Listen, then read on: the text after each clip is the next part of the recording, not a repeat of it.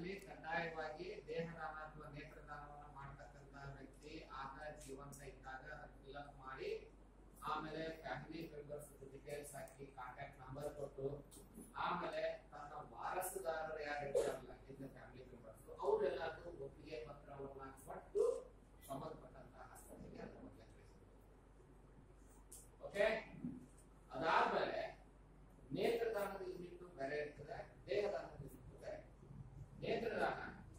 ವ್ಯಕ್ತಿ ಮರಣ ಹೊಂದಿದ ಇಷ್ಟು ಗಂಟೆಗಳಿಗೆ ಸುಮಾರು ಅದು ಎರಡು ತಾಸು ಅಥವಾ ಯಾರಿಗಾದ್ರೂ ಗೊತ್ತಿದ್ರೆ ಹೇಳಿ. ಆರು ತಾಸ.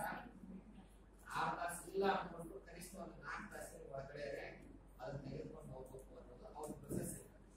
ಓಕೆ ಪ್ರೊಸೆಸ್ ಇರ್ತದ. ಅದಕ್ಕೆ ಸಂಬಂಧಪಟ್ಟ ಹಾಗೆ ಅವರಿಗೆ ಇಮಿಡಿಯೇಟ್